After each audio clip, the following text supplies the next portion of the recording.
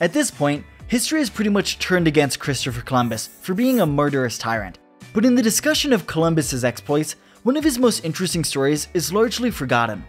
After discovering the New World by accident in 1492, Columbus had undertaken three more voyages back to the Americas, mostly in search of gold and silver to cover the cost of his previous voyages.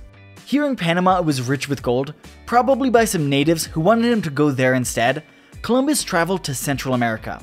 Between his ships being attacked by pirates and eaten away by shipworms, he was forced to land in Jamaica. Waiting for more ships to come to his rescue, Columbus and his sailors relied on the food and other help provided by the natives, who were at first awed by the presence of these new arrivals. But this cushy setup didn't last long. Half of Columbus's crew mutinied and frequently raided the natives, who eventually stopped helping the Europeans. Threatened with starvation, Columbus knew he had to do something quickly.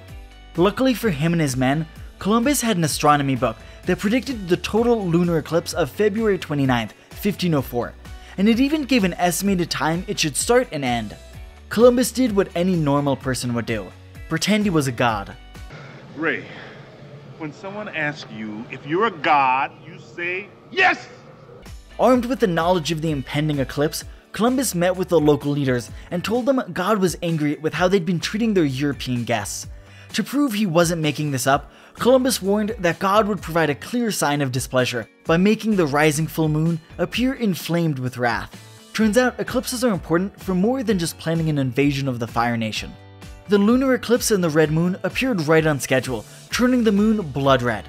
During a total lunar eclipse, the Earth is between the sun and the moon, blocking out light from directly reaching the moon. But as light travels through the Earth's atmosphere, it can bend towards the moon. The light traveling through the atmosphere shifts to a red color, the same way the sun looks reddish orange as it rises above the horizon. Thus, a red moon inflamed with God's fury. The natives were so frightened, they begged Columbus to convene with God and promised to go back to giving him whatever he wanted in the future. Columbus, knowing a thing or two about showmanship, went into his cabin to talk with God.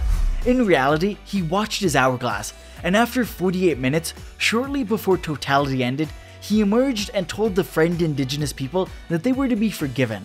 When the moon started to reappear from the shadow of the earth, he told them that God had pardoned them.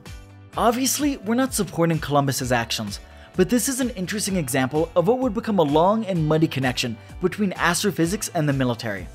If you want to share your civil thoughts, as YouTube comments always do, drop them down below. And remember, there's always more to learn.